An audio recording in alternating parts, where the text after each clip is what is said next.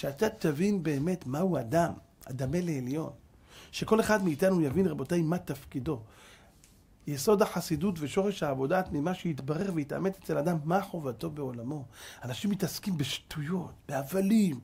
בואנה, התעסקת בתיקון נפשך, אתה מבין מה אתה עושה פה? מה אתה בא כל היום מבלבל את המוח, מתעסק בשטויות? בואנה, תעצור שנייה, אתה לומד תורה. אתה לומד תורה. אתה ממלא את הנפש שלך, את, את הרוחניות שלך, את העולם הבא שלך במשהו. מה, אתה רוצה להתפגר, למות בלי כלום? מה, לאן תלך? רבותיי, זה, זה, זה מטורף. מי שמתבונן על המוות ולא מתעורר, זה מטורף. אנשים מסתכלים על המוות באיזה בהלה. מה אתה נבהל? מוות זה מציאות. מוות זה מציאות קיימת. כמו שאתה יודע שם בלילה אתה הולך לישון, דע לך יום אחד אתה תישן, רק פשוט לא תקום. זה אותו שינה. הוא מקיים הוא נתון לי שינה עפר. כמו שאתה יודע שהיום בלילה אתה בטוח תלך לישון. יש פה מישהו שחושב שלא תלך לישון, אני לא חושב.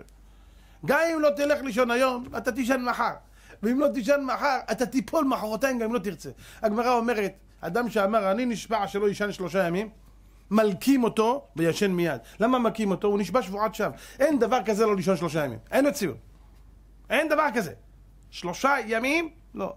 הגמרא אומרת שם במסכת אה, סוכה, הגמרא אומרת שבת... שה... שחסידים גדולי התנאים העידו שב... שבימים של שמחת בית השואבה בית המקדש לא ראינו שינה מעינינו. אז אמרה איך זה יכול להיות? אה, ולמדנו שאם נדר שלא ישן ג' ימים מלכין אותו וישן מיד. אז איך הם רקדו? שבע ימים רקדו? מה, מה, מה, לא נרדם, איך? אומרת הגמרא, אלא מאי? הוא היה שם את הראש ונרדם באמצע.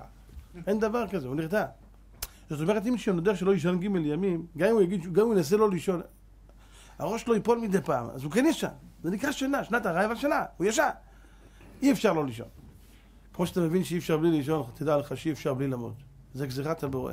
כך גזר הקדוש ברוך הוא בעולמו, שהקדוש ברוך הוא גזר על אדם הראשון, ביום אוכלך ממנו מות תמות, ואמרנו, נגזר המיטה על האדם. אז המיטה זה משהו מציאותי, זה יקרה יום אחד. שאלה מתי, במוקדם ובמאוחר. מאחלים לכולם חיים ארוכים ומתוקנים. אבל גם הארוכים נגמרים, ממה נפשו?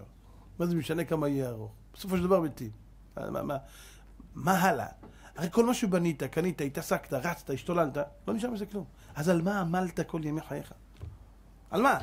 יסוד החסידות ושורש העבודה התמימה שהתברר והתאמת אצל האדם, מה חובתו בעולמו? למה שלחו אותי לכאן? ואם שלחו אותי בשביל ליהנות, למה נולדתי בן אדם? הייתי נולד סוס, חמור, כלב, דוב.